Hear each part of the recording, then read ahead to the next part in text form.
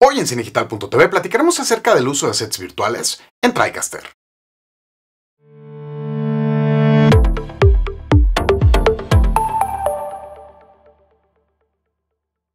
Hola, ¿qué tal? ¿Cómo están? José Luis de Cinedigital.tv y bienvenidos al programa del día de hoy.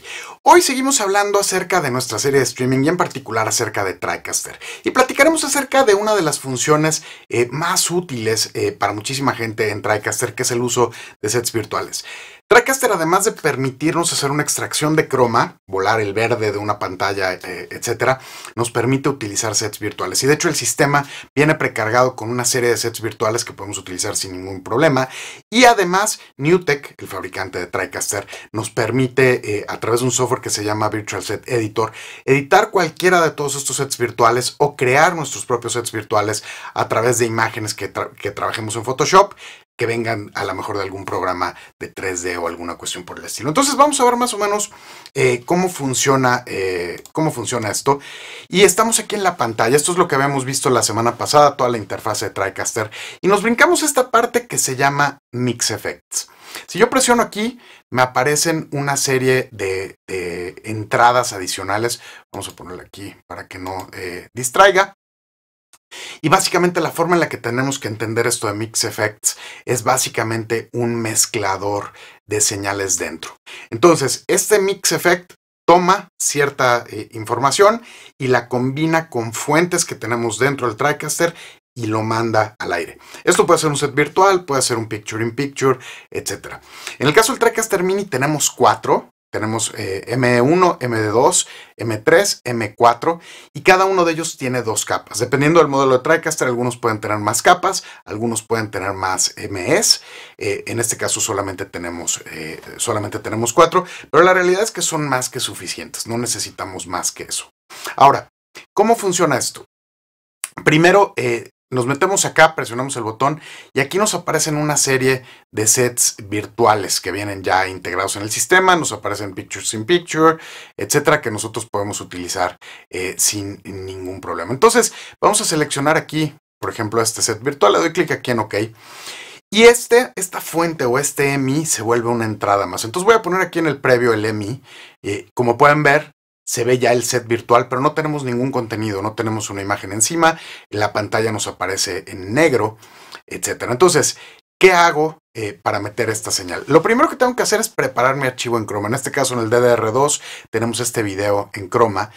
Y para, eh, para poder hacer la extracción, presiono aquí el icono este de la tuerca. Recordemos que cada vez que nos aparece esta tuerca, tenemos algo que podemos modificar. Entonces, aquí en esta nos aparecen distintas entradas y en esta nos dice Live Mat.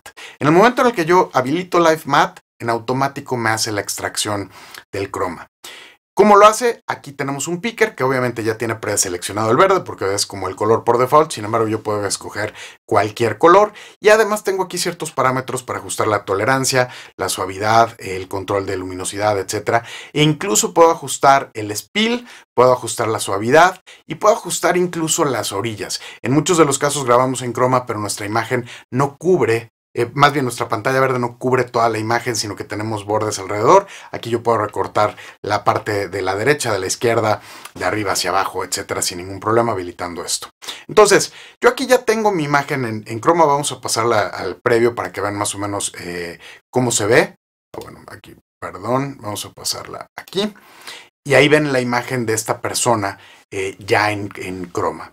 Está la extracción completa. Entonces, ¿qué hago para, eh, para, para, montarla dentro de mi set virtual. Me vengo aquí otra vez al EMI y mi capa 1 es la capa que corresponde al talento a la persona que tengo acá. Entonces, eso lo tengo dentro de DDR2. Aquí en automático tengo ya a la persona con la extracción de croma. Ahora, tengo aquí la pantalla atrás y vamos a suponer que yo quiero poner un video que se esté reproduciendo en esta pantalla virtual.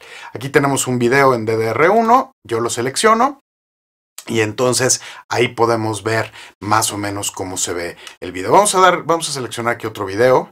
Vamos a seleccionar este de aquí y vemos más o menos cómo se ve. Vamos a reproducirlo y vamos a reproducir este video también y vemos a la persona aquí en pantalla completa cómo opera el set virtual. Vemos en la parte trasera el video este que nosotros seleccionamos y está corriendo y sin ningún problema lo está mostrando. Entonces, de una forma muy sencilla, eh, nos permite operar y mostrar los sets virtuales. Ahora, ¿qué hacemos con diferentes ángulos? Es relativamente sencillo. Creamos un ME2 con otra configuración de set virtual.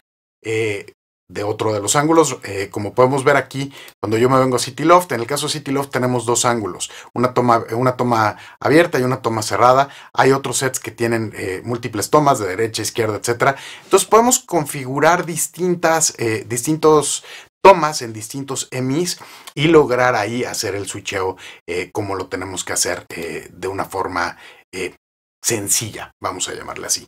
Entonces, de esta forma nosotros seleccionamos y podemos configurar y switchar entre las distintas interfaces. Entonces, podemos lograr una producción completa, a lo mejor con un par de cámaras y utilizando distintos encuadres eh, sin mayor problema directamente en el TriCaster. Pues eso es todo por hoy. Si tienen alguna duda, algún comentario, por favor visita la página en www.cinegital.tv y haremos todo lo posible por contestar sus dudas. Pues me despido, mi nombre es José Luis Tamés y nos vemos en la siguiente de cinegital.tv. Muchas gracias. Adiós.